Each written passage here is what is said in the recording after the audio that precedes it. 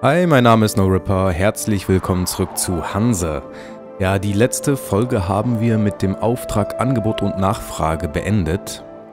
Und ich lese das nochmal ganz kurz an. Also der Weg durch die Stadt führt euch vorbei an Handwerkern, Lagerhäusern und durch die Wohnviertel der Bevölkerung.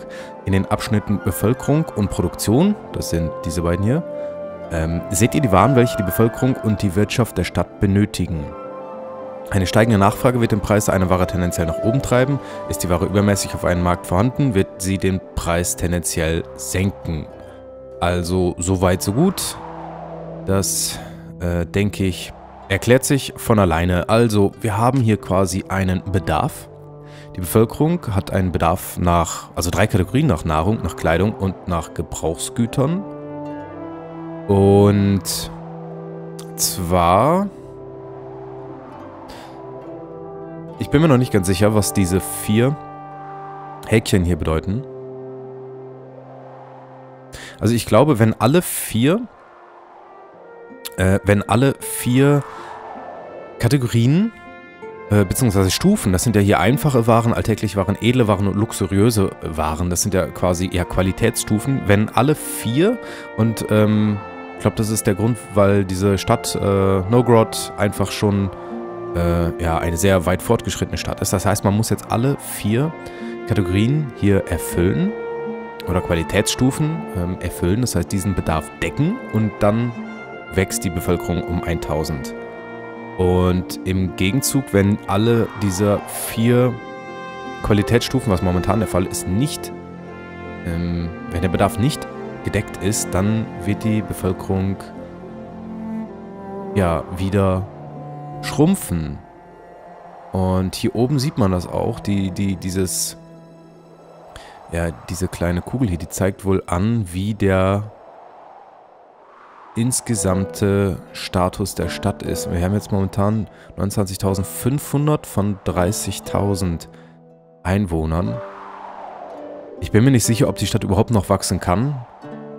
So, wenn wir jetzt hier alles erfüllen würden, ob die dann auf 31.000 hochgehen würde oder ob dann nur ob sie nur bis zu 30.000 gehen würde, ob das das absolute Limit ist oder ob wir vielleicht schon 500 verloren haben. Wenn wir jetzt noch weitere 500 verlieren, dann würden wir quasi wieder eine Stufe absteigen. Da bin ich mir noch nicht so ganz sicher.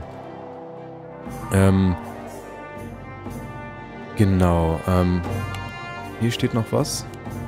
Bevölkerung. Damit eine Stadt wachsen kann, benötigt die, benötigt die Bevölkerung Kleidung, Nahrung und Gebrauchsgegenstände in verschiedenen Qualitätsstufen. Liefert die benötigten Waren auf den Stadtmarkt, um die Nachfrage zu befriedigen. Und ich glaube, die Nachfrage ist hier dieser Balken, der den Fortschritt anzeigt.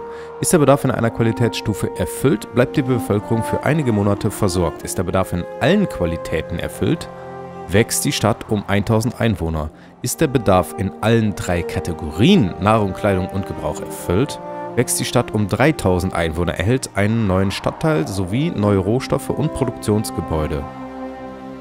Bleibt der Bedarf in einer Warenkategorie für längere Zeit komplett unerfüllt, wie viel Zeit steht da leider nicht, verliert die Stadt 1000 Einwohner. Bei einem Verlust von 3000 Einwohnern verliert sie einen Stadtteil sowie Rohstoff- und Produktionsgebäude. Das heißt aber auch im Zuge, je fortschrittlicher eine Stadt ist, ich zeige mal kurz eine andere Stadt, desto schwieriger wird sie auch, ähm, ja,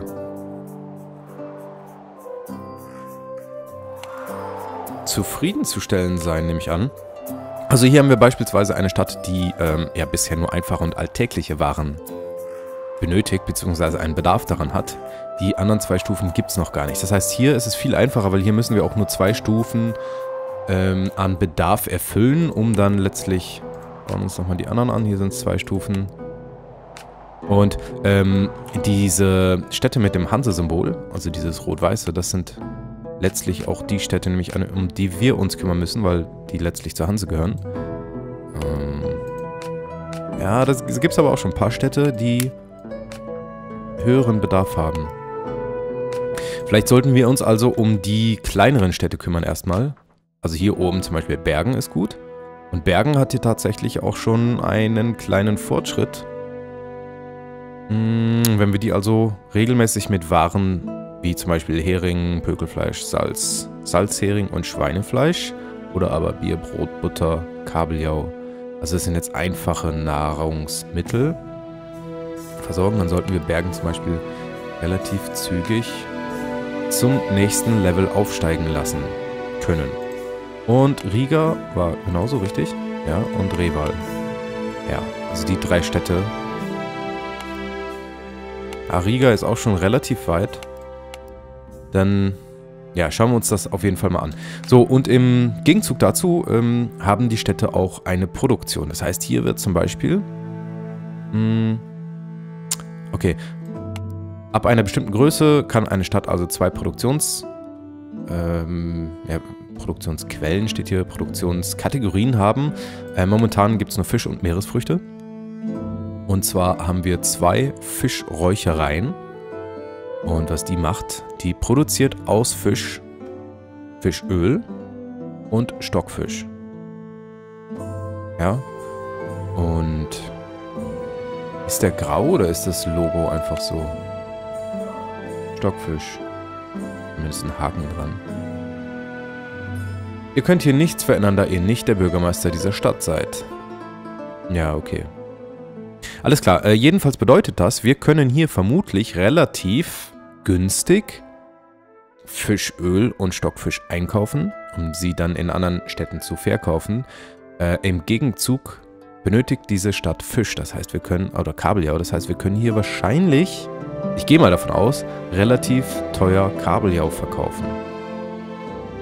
In jedem Fall wird das Verkaufen von Kabeljau die Produktion hier ankurbeln, was gut ist. Und Hering...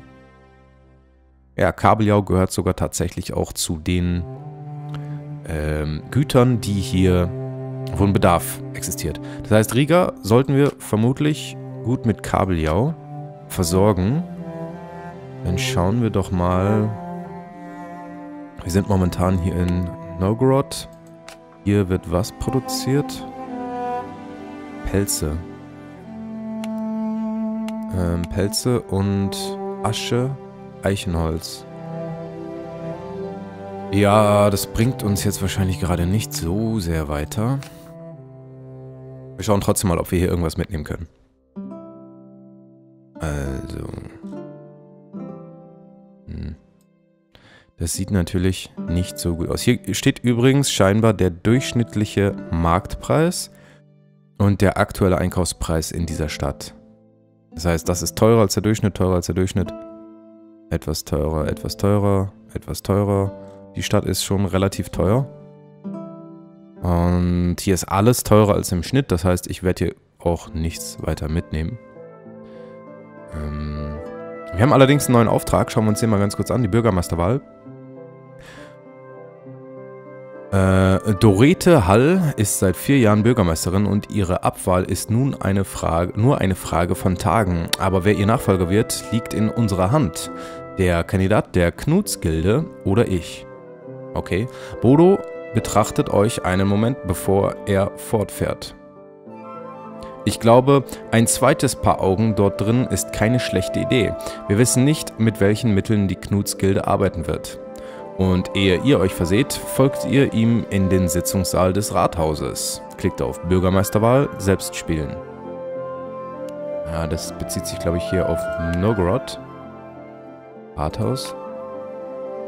Ja, hier. Genau. So, schauen wir mal, wie sehr wir uns hier in die politischen äh, Spielchen einmischen können. Der Stadtrat. Der Stadtrat besteht aus Vertretern der Bürger, der Kirche, dem alten Bürgermeister und dem gegnerischen Kandidaten. Ihr haltet euch im Hintergrund, aber euch fällt auf, dass einige Ratsmitglieder unentschlossen sind, wem sie ihre Stimme geben werden. Sucht eine unentschlossene Person im Stadtrat aus, schaut euch an, wie ihr diese Person beeinflussen könnt, für Bodo Trempen zu stimmen, setzt eine Aktion ein und klickt dann auf Bestätigen. Okay, wir müssen also hier Lobbyarbeit quasi leisten. Was haben wir denn hier? Ähm, das ist der Gegner hier, der Herr Giselbert Krog. Hier auf der linken Seite ist unser Freund Bodo. Und man sieht hier auch eine Flagge. Boah, also der Gegner hat 1, 2, 3, 4, 5 schon auf seiner Seite.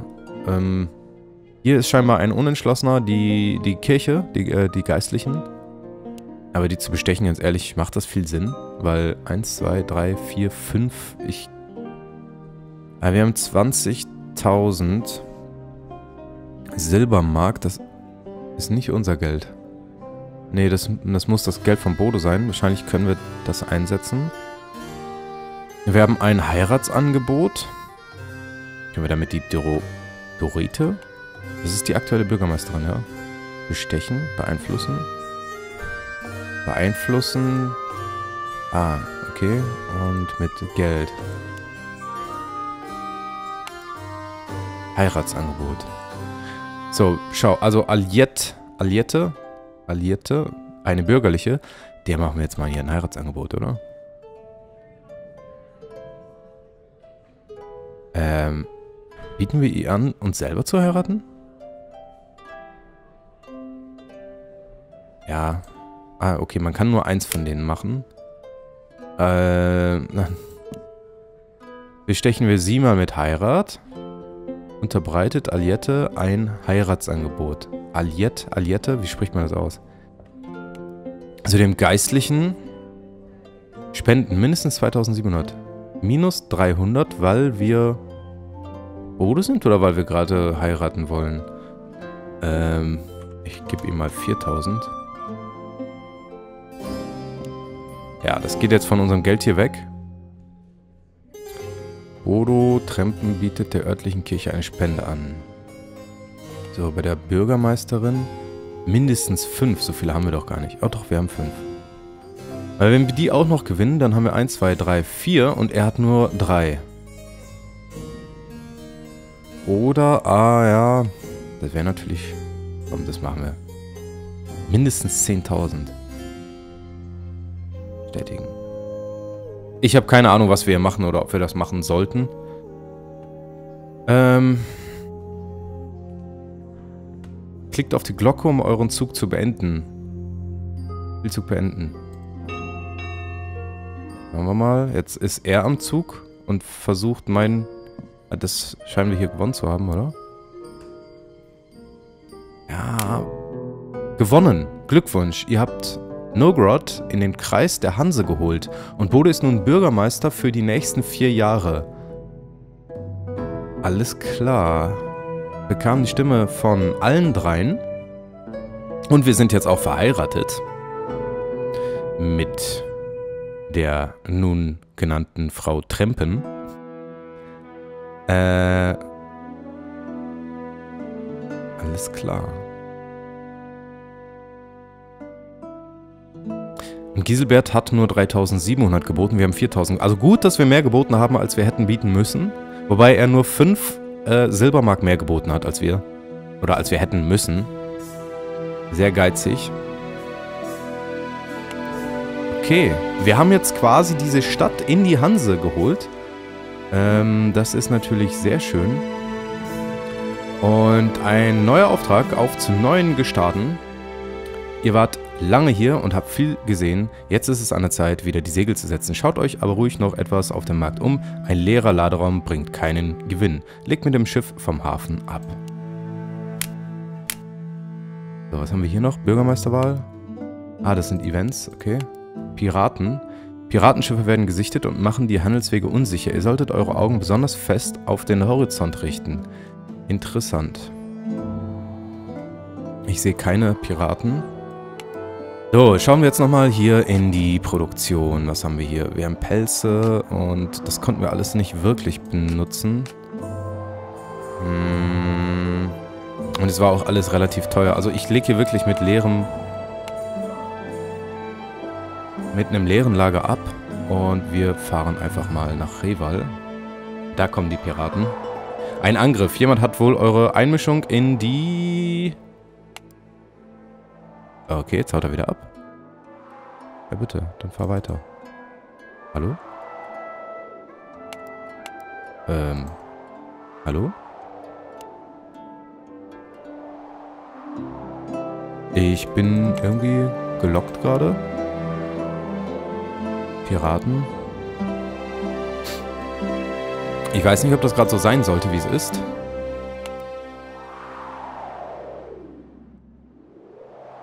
Ich kann tatsächlich nichts mehr tun. Ähm... Ich versuche mal kurz zu speichern und das Spiel neu zu laden und hoffe, dass ich dann gleich wieder ähm, zurück bin. Bis gleich. So, da sind wir wieder zurück und ich musste, das, das Safe Game war tatsächlich kaputt, ich musste ähm, von dem letzten Spielstand nochmal neu spielen. Leider haben wir jetzt die Bürgermeisterwahl verloren. Ähm, das heißt, Nogrod gehört jetzt leider nicht mehr zu Hanse. Aber ich glaube, das macht nichts. Das holen wir uns später auf jeden Fall wieder. So, jetzt scheint auf jeden Fall dieser Piratenangriff zu funktionieren. Und das sind die Tutorial Pirates. Äh, Schiffszug 0. Äh, das ist unser. Wir müssen den vielleicht nochmal umbenennen. Äh, wurde von Tutorial Pirates angegriffen. Wollt ihr den Kampf selbst führen? Aber selbstverständlich. So, schauen wir mal, was uns da erwartet. Ich hoffe, das wird nicht zu schwer, aber ich bin guter Dinge, da sich das Ganze auch Tutorial Pirates nennt. Also eine Strategie wählen. Stehen sich zwei Schiffszüge gegenüber, so entscheiden die Kapitäne abwechselnd, welche Grundstrategie sie wählen. Nehmt euch einen Moment, um euch mit den Strategien vertraut zu machen. Klickt die Tafeln am unteren Bildschirmrand an. Ihr seht dann eine Vorschau eurer Aktion als Pfeile. Ihr könnt Zusatzkanonen und Schilde verteilen, um eure Grundstrategie zu verfeinern. Wenn ihr euch für eine Grundstrategie entschieden habt, klickt auf das Messer. Der gegnerische Kapitän startet dann seinen Angriff. Also ihr solltet versuchen, den gegnerischen Transporter zu schwächen, um ihn zu entern und seine Waren zu erbeuten. Ähm, ihr solltet versuchen, den Transporter zu schwächen. Also das ist jetzt hier ein Tipp. Feuer frei. Das sind die Strategien hier unten, also schauen wir uns das mal an. Äh, Feuer frei bringt eure Schiffe in die erste Reihe und attackiert mit allen Munitionsarten. Diese Strategie zielt auf Rümpfe, Segel und Moral des Gegners. Und hier sehen wir Rümpfe. Äh, ich glaube, dass hier diese rote Linie ist, ja, dass die territoriale Linie, das heißt, die Schiffe hier oben scheinen ihm zu gehören. Ja. Und die Schiffe hier unten gehören uns. Warum auch immer wir zwei Stück haben. Okay. Das ist ein Geleitschiff. Okay. Also das ist unser Haupttransporter hier. Mit 6 Angriffskraft. Und hier haben wir noch... Oh, okay. Äh, mit 14,4 Angriffskraft. Ein deutlich stärkeres Schiff. Ich, ich bin... Es segelt unter unserer Flagge, aber es, wir sind nicht der Kapitän. Also ich frage mich gerade, wer dieses Schiff steuert und warum das hier ist. Ähm... Okay, sei es drum. Wir haben keine Waren an Bord. Können wir hier... Können wir nicht ansch anschauen, was er auf dem Schiff hat. Er hat auf jeden Fall zwei Koggen und nur mit jeweils drei Angriffen. Also die sollten wir auf jeden Fall platt machen können. So, wenn wir jetzt auf Feuer frei klicken, dann zielen wir auf Rümpfe, Segel und Moral, also auf alle drei hier. Dann Transporter schwächen. Eure Kriegs- und Gleitschiffe attackieren gegnerische Transporter, um sie zu schwächen und zu entern. Diese Strategie zielt auf die Segel und Moral von Transportern und bereitet ein Entermanöver vor. Mhm.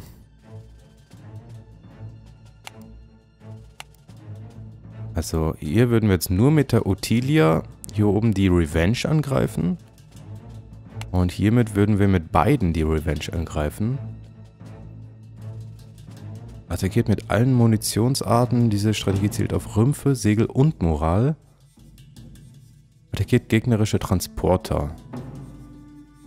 Hm, also der Unterschied leuchtet mir noch nicht so ganz ein.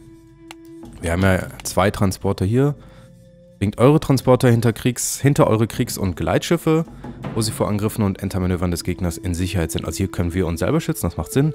Neu aufstellen, weist einem Schiff innerhalb der ersten Reihe eine neue Position zu oder vertauscht zwei Schiffe und fliehen.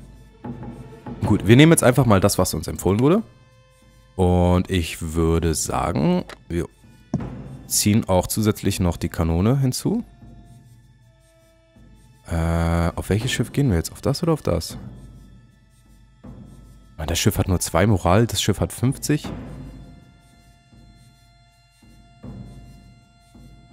Ich gehe jetzt nochmal auf das hier. Okay. Und wir bestätigen unsere Entscheidung. Es wird wahrscheinlich noch gewürfelt. Nicht? Okay. Doch. Und wir haben eine 7. Also wir würfeln mal 7. Und... Also, wir würfeln eine 7 und haben dann den Windspucker, das ist der hier, äh, mit 6 Kanonen mal dem Angriffswert von 1,2 plus Würfel 7, 14 Schaden zugefügt. Und der Pirat will neu aufstellen. Das heißt, er hat die beiden Schiffe vertauscht. Ich nehme an, er will hier fliehen. Das ist natürlich nicht so schön. Wenn wir jetzt diesem Schiff, weil bis dahin kommen wir nicht, oder? Jetzt. Hm. Wir können nur das angreifen.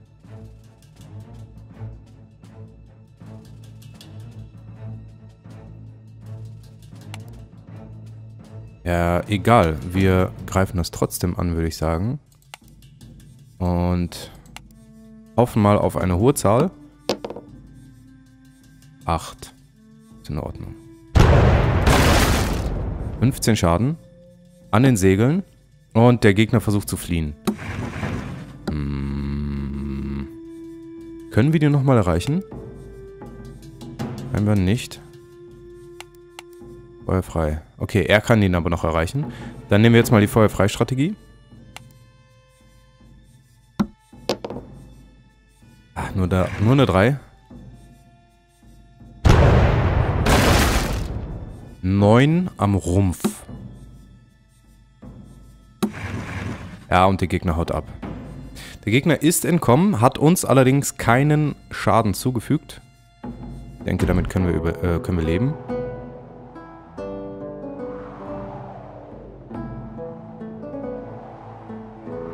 So, und jetzt sind sie verschwunden. Nach dem Kampf. Ihr habt die Piraten besiegt, falls ihr ihren Transporter erbeuten konntet, so befindet er sich nun in eurem Schiffszug. Konnten wir leider nicht. Auftrag heiraten.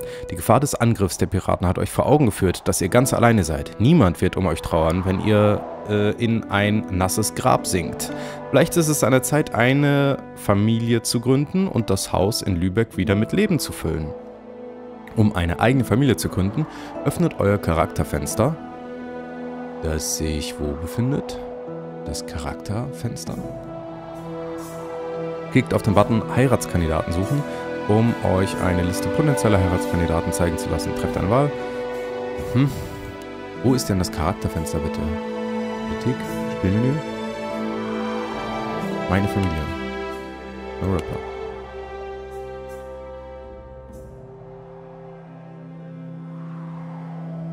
Heiraten. Schauen wir doch mal. Wie alt sind wir? 20. Ja, dann brauchen wir aber auch hier ähm, Tareja, Tareja oder Osa, Lilion. Die anderen Akt. Jakosa.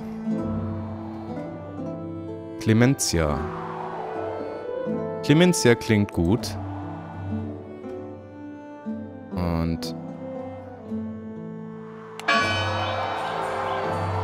Äh. ja, so lief das früher. Äh, da war nicht viel mit Antrag machen. Ich will dich heiraten. Glückwunsch, ihr seid nun verheiratet. Der Gründung einer eigenen Kaufmannsdynastie steht nichts mehr im Wege. Ihr könnt die Porträts von Familienmitgliedern in der Familiengalerie sehen, sowie jedem Verwandten über das Personenmenü einen Beruf geben.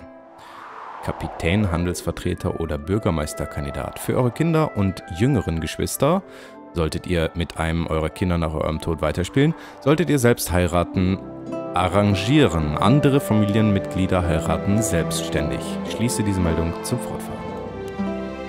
Die Welt wartet auf euch. Ihr seid jetzt bereit, euch den Herausforderungen der Hansewelt zu stellen. Baut euer Imperium auf und macht aus der Hanse eine weltumspannende Handelsmacht. Das werden wir tun. Hier oben steht noch äh, ein pralles Säckel Geld ist der Treibstoff der Welt, verdiene davon viel, denn die Seefahrt ist teuer und nur ein reicher Kaufmann ist ein angesehener Kaufmann. Kauft Waren in den Städten ein und schaut, wo ihr sie wie mit Gewinn wieder verkaufen könnt. Vermehrt euer Vermögen auf 6000 Silbermark. Ihr erhaltet eine Kogge als Belohnung. Gut, dann haben wir jetzt, ich denke, das erste wirklich längerfristige Ziel mal bekommen. Wir sollen also 6000 Silbermark verdienen und das machen wir doch auch. So, ich wollte diesem Schiffszug immer noch einen Namen geben. Ich nenne das einfach mal, damit wir es schneller wiederfinden. Alpha, also unser erster Schiffszug. Und dann schauen wir jetzt mal in Reval. Ich habe schon wieder völlig vergessen, wie hier Produktion und... Okay, hier wird Dörrfleisch hergestellt und Leder wird hergestellt. Gebraucht wird Schafshäute und Rindfleisch. Und wir haben den Bedarf an einfacher Nahrung zu 40% gedeckt, wenn ich das richtig verstehe. Pökelfleisch. Dörrfleisch. Das ist was anderes, oder?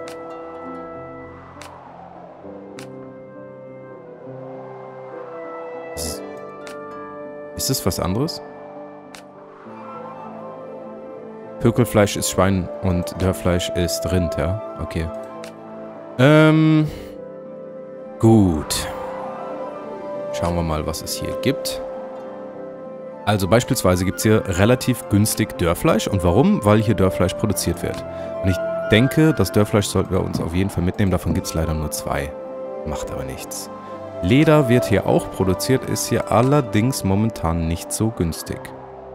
Es ist teurer als der Durchschnitt. Äh, Rindfleisch ist relativ günstig. Ich denke, da sollten wir den aber da lassen.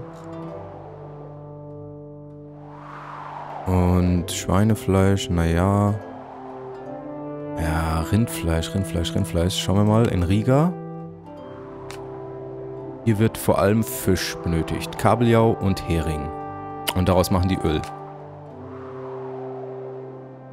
Und beide stehen auch auf der Liste der ähm, geforderten Güter. Kabeljau und Hering bekommen wir aber leider in Reval gar nicht. Das heißt, wir fahren mal... Was haben die denn hier? Ach, da kann ich gar nicht reingucken. Okay, also wir müssen noch vorbeifahren, um in fremde Häfen, in fremde Kontore reinschauen zu können. Hm, warum gibt es jetzt hier nirgendwo Fisch? Danzig?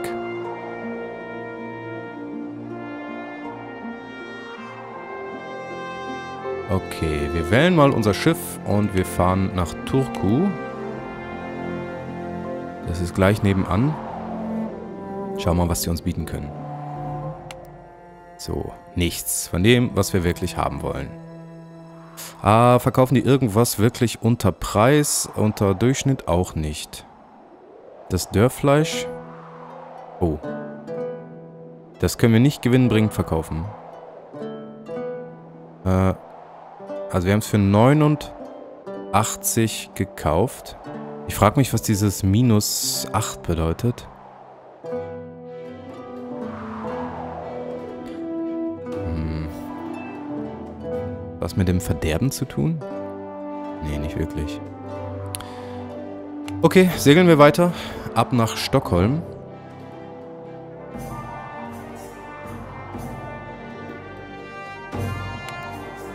So, was haben wir denn hier? Dörrfleisch. Ähm, das können wir auch nicht wirklich gewinnbringend verkaufen. Leder, Rindfleisch. Rindfleisch ist hier relativ günstig. Das nehmen wir mit, oder? Auch wieder nur einen. Mehr haben wir nicht? Nee.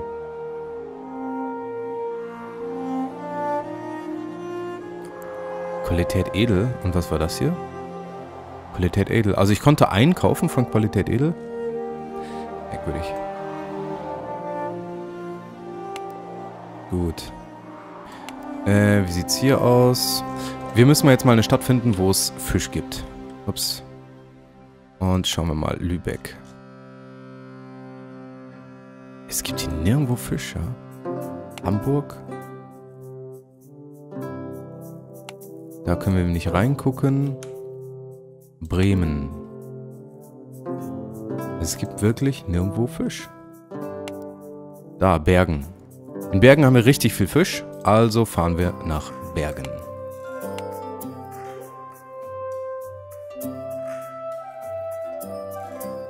Gut. Und ja, ich glaube so ein bisschen, ich habe irgendwie den Eindruck, dass so ein bisschen habe ich dieses Prinzip jetzt verstanden. Ähm, ganz sicher bin ich mir aber noch nicht. Und ähm, wir werden das in der nächsten Folge auf jeden Fall ausbauen, den Handel. Und äh, schauen wir mal, wir sind ja schon bei 4770 Silbermark. Auf 6000 müssen wir unser Vermögen anwachsen lassen, damit äh, wir dann das erste Ziel erfüllt haben. Und ich würde sagen, äh, damit verabschiede ich mich in dieser Folge und hoffe, ihr seid in der nächsten wieder mit dabei. Bis dahin, ciao.